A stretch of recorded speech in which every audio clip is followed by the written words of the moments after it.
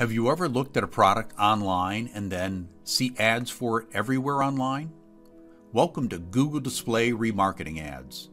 Dave Gagne here, CEO of That's Biz. We only work with restaurants and partner with restaurant brands.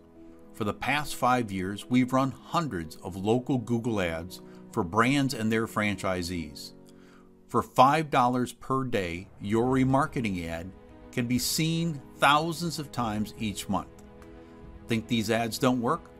Think again.